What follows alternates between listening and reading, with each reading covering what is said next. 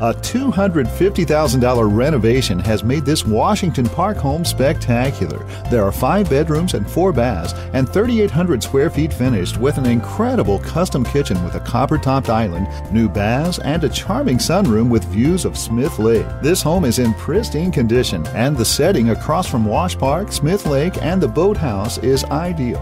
Call Marilyn Dana for more information and a tour.